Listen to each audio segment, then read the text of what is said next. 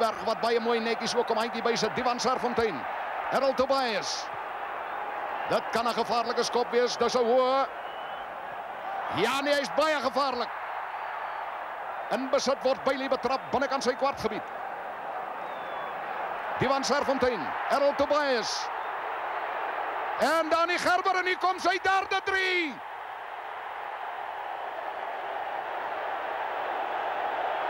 Hy besluit hy wil hom nie in die hoekie druk nie. Hy het hom nog nie gedruk nie en hy hardloop om tot agter die paal en daar gaan druk hy hom. Gerard, dis 'n interessante op 'n uh, uh, beduiding wat uh, John Scott gemaak het, maar Gerber is baie uitgeslaap. Hy het op sy arm geval. Hy het die bal nie gedruk nie, hy het hom weer vasgeklem en toe om onder die paal gaan druk. Dit Lastra wat daar hoog gerank, maar die bal nie in die hande kry nie. Hy wil oorklap na sy skrimskakel toe, maar Suid-Afrika gooi bal en dan is dit weer Oure wat daar wegbreek met die bal. Dit is Burger Geldnys wat hom in die hande kry.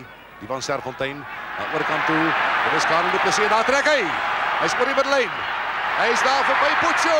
Hy hardloop nog steeds. Hy's by Barone verby. Hy probeer binnekant toe gooi. Al tyd daar's nie ondersteuning nie.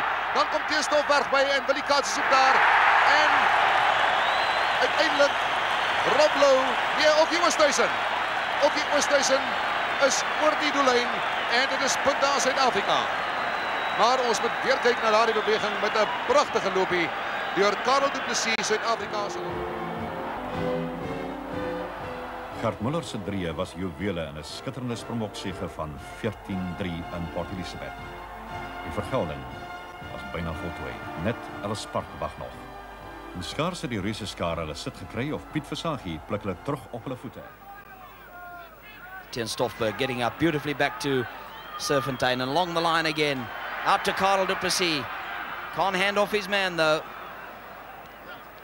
But only the fullback, taking him and holding on for dear life. Jorge Allen battling his way forward now for the South Americans. They've got good support. And Gutched trying to go past his opposite number, Serpentine. Brings him down well. Billy Duplessis. Softberg.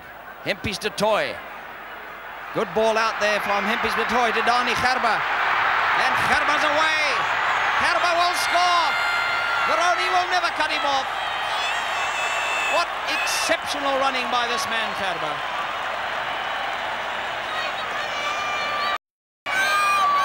The second time that he's shown the South Americans a clean pair of heels. Exhilarating stuff.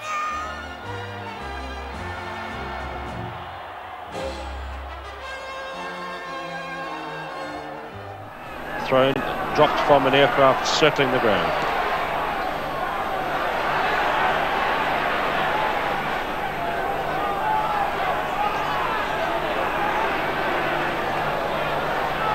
Eunice to Ray Mort, who's already got the try. Houston coming across. Awkward bounce. Oh, and Mort's got the bounce, and it's in again.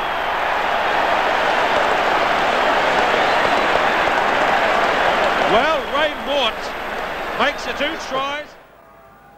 Weer stilkant. Binnekant toe na Wynand Klasen. Groot Louis Molman. Hy gee na Hempies te Tooi. Dan span die bal terug na Wynand Klasen, na Spota. Dis Willie Du Plessis en Karel Du Plessis. Hy het 'n oop veld. As hy kan omkom, is hy weg. En hy's weg. En daar trek hy. Die drie waarvoor hy baie hard gewerk het vroeg in hierdie wedstryd. Die kry hy met 'n pragtige loopie. En dis nog 4 punte by aan Suid-Afrika. Pragtige ondersteunende spel daar deur die voorspelers wat daardie bal teruggekry het. Louis Moorman met die bal daar probeer uitkry, maar die Leeu's gaan hom weer kry. Dan is Woodward op loskakel. Gravel. Die Owen in die agterlyn is deur die gaping, maar hy word geloop van agteraf. Pragtig geloop deur David Smith. Vorentoe geskop deur Gysie Pinaar en daar trek Pinaar. En opgetel deur Pinaar. En hy gaan weer druk. 'n Pragtige loopie. Pinaar soos 'n sokkerspeler. Jan, dis mooi, dis pragtig. Hierdie Springbok voorspelers wat die kant toe. Dit is Mustafa. Hy stap daar vir Willie Du Plessis af, nog steeds hard op Mustafa. Papram Boor. Dan tel Dani Gerber op. Hy stap vir Mustafa af. 'n Mooi loopie deur Dani Gerber. Maak sy rughol. Gysie Pinaar aan sy binnekant. Hy hardloop nog steeds, dan gee vir Theo Stofberg. Gaan hy sy tweede drie nog nee, dis Willie Kats wat gaan hom dra. die wedstrijd en op zijn loopbaan wordt gespannen door Janne Engelbrechtse tweede 33.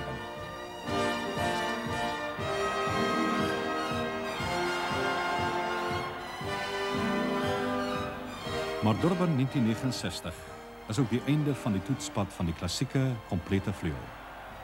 Hij wordt onthouden voor zijn vaart, voor zijn reddende kruisverdediging en voor zijn perfecte ingooi bij lijnstanden. Na 33 toetsen, die uittocht van Janny Engelbrecht.